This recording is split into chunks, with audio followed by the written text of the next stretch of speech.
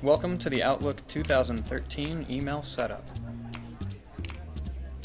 I'm here to show you how to set up your personal email with Outlook. First, open Outlook.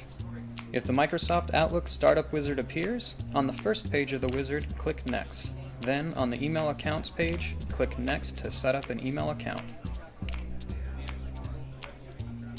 If the Microsoft Outlook Startup Wizard doesn't appear, on the Outlook toolbar, click the File tab. Then, just above the Account Settings button, click Add Account. Click Manual Setup or Additional Server Types, then click Next.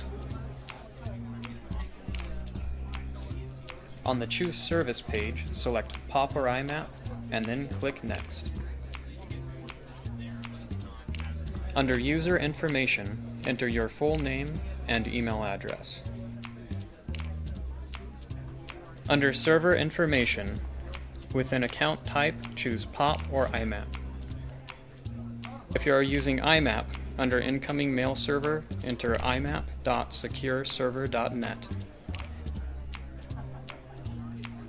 If you are using POP email, enter pop.secureserver.net.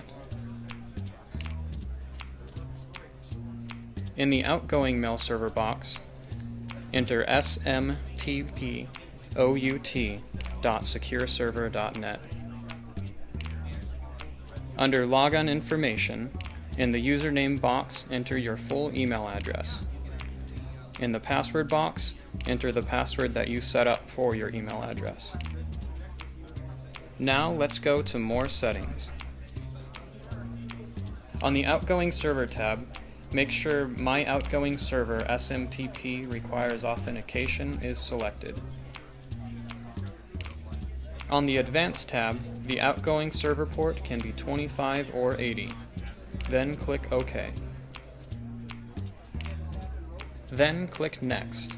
Outlook will run a series of tests to verify your settings. Once that completes, click Close.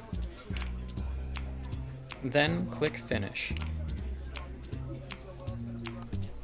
And that's it. You can now start sending and receiving email using Outlook. Got any questions? Call us. We're available 24 7.